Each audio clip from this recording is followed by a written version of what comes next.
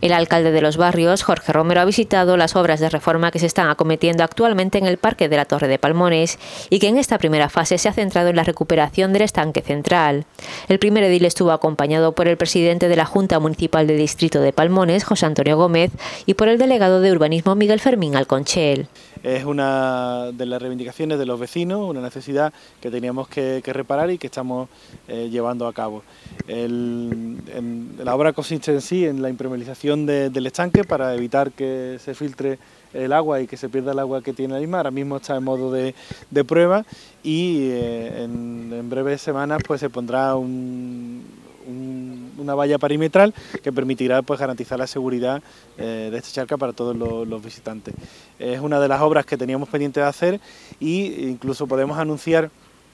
para el año 2018 que el canon de mejora que la empresa Ciena tiene con el Ayuntamiento de los Barrios, según el servicio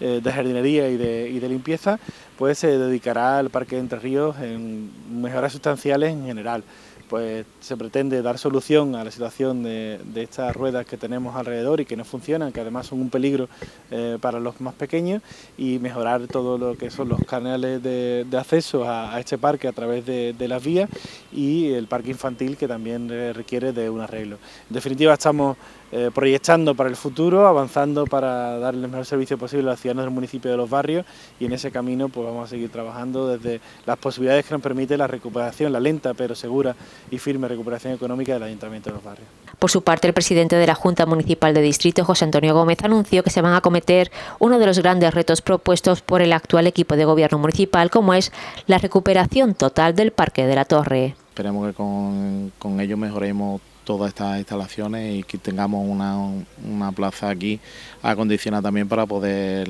hacer eventos y demás en este Parque de la Torre y este entorno tan bonito que tenemos.